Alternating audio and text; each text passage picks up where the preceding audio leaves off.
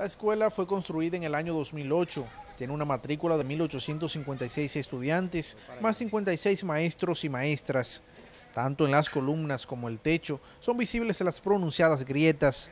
Por recomendaciones de ingenieros, la dirección del centro educativo ofrece la docencia en el patio como una forma de prevenir un desastre, lo que ha sido aprobado también por la Sociedad de Padres y Amigos de la escuela. Ha sufrido una serie de aberturas que nos tiene alarmado tanto a la comunidad educativa como a los padres. Y no es que una parte va a trabajar en la escuela y otra parte no, porque los niños cuando se le dice que no vaya a un sitio, ellos van, entonces todos estamos en peligro.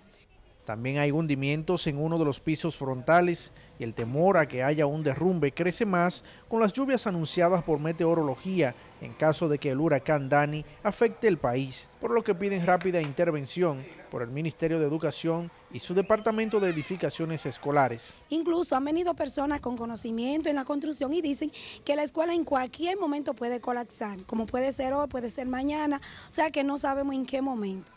Desde Santiago, José Zapata, Informativo Estelantillas.